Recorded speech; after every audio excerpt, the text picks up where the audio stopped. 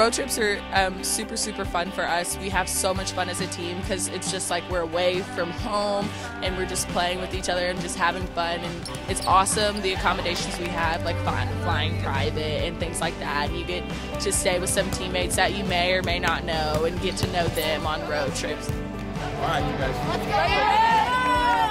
Some games are pretty hostile.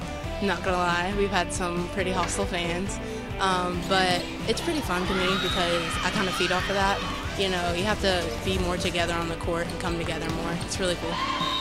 What I'm gonna miss, like about road trips, miss most about road trips is the car rides. They're so much fun. So I'm gonna miss that and just being with my team, like on a, on not like a nonchalant basis, but kind of like a chill type basis. Let's do it. Uh, we usually come together a lot more on road trips than we do at home and um, it's just more cohesion, especially away, especially in the hostile environments and not hostile environments. When it's not very hostile, it's usually pretty empty in the gyms, so we have to create our own energy. So we have to come together more. We're more together on the court.